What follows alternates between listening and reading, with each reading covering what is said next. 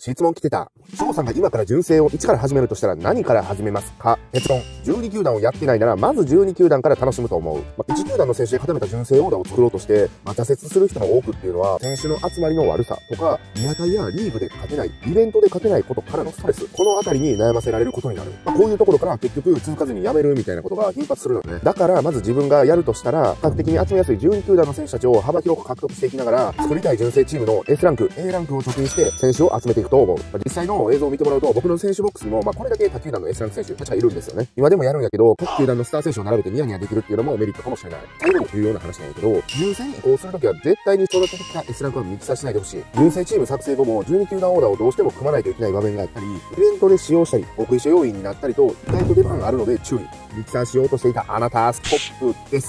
まずは飽きないように12球団から始めることをお勧めしたいと思う。